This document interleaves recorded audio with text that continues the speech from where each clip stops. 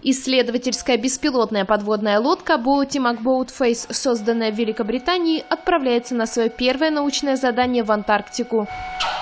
Желтая субмарина стоимостью более 240 миллионов долларов будет собирать данные о подводных течениях в проливе Оркни.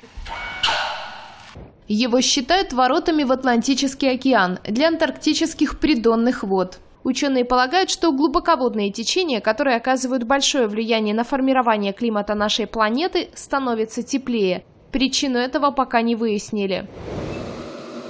Боути Макбоутфейс – проект Британского антарктического управления, Национального океанографического центра и Университета Саундгемптона.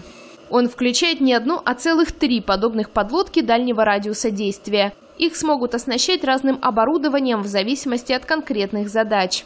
Миссия начнется в городе Пунта-Аренас в Чили. Субмарину спустят с борта полярного судна на глубину 3,5 тысячи метров. Ученые говорят, что потепление подводных течений может иметь серьезные последствия, в частности, привести к повышению уровня мирового океана и гибели морских обитателей.